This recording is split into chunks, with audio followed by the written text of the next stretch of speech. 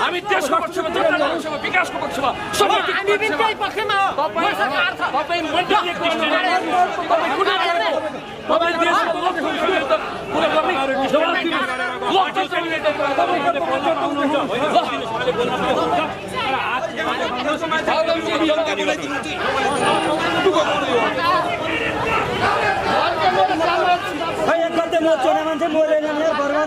एकतिसजना मान्छे मरिसक्यो राज्य सरकार के गरेर बसिरहेको छ उहाँले के कहिले नागरिक समाजमा आउनुहुन्छ कहिले? हामी कम्युनिस्ट हौँ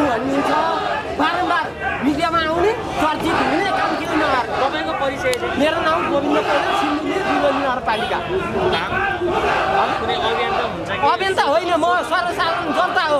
र यो दु- उन्नाइस सय पन्चानब्बेदेखि भोग्दै आएको कुरो हो।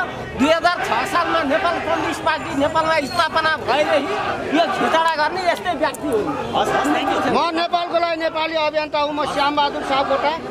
घर ने घर मेरो नुवाकोट त्रिशुली पुस्टे वार्ड नम्बर दुई।